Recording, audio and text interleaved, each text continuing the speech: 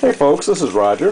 Uh, what I'm filming for you today is a Jensen uh, Model 20, what was called the Big Power Plant.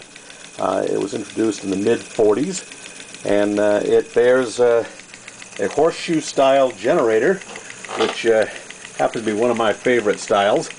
And it runs just so quiet. If you listen to that, I mean, that is that's all that's all the noise it's making. What you hear, just a barely any sound at all. Very smooth not a racehorse, but uh, more than adequate to uh, light the generator, which I personally think is one of the most efficient generators Jensen ever put out, this horseshoe style, and it's also kind of attractive looking. So, anyways, uh, Jensen 20, big power plant.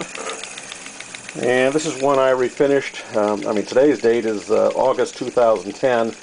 Uh, I refinished this a couple of years ago myself, and uh, it's kind of a favorite just because I can put this thing on and, and run it for oh, 40 minutes or so before I need to refill it again. It's very conservative of water and uh, runs just uh, at a loping along speed. It's not a racehorse, but it sure is a, a sweet machine. I don't know if you can read that uh, ID tag on there.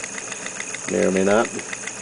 Anyways, that's all. I just wanted to show that. Uh, this was a video I filmed earlier, but somehow I lost it. And uh, so I'm redoing it again. Take care. Bye.